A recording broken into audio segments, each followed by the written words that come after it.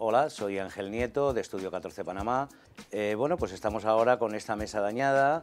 Hicimos un tablero a la medida porque bueno, pues estaba totalmente sin fuerza en la parte de arriba. Luego se eligió una tela para hacerle lo que es la funda que lleva en negro.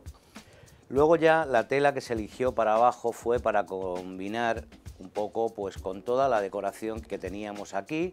Bueno, pues esto se lo podemos hacer aquí en Estudio 14 lo que ustedes quieran, con la tela que ustedes quieran, para que se acople a su decoración.